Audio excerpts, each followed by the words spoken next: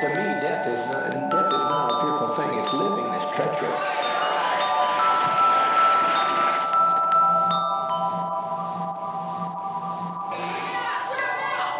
Don't be afraid to die. You if these people land on you, they'll, torture some of our children. They'll torture our people. They'll torture our seniors. We cannot have this. Are you going to separate?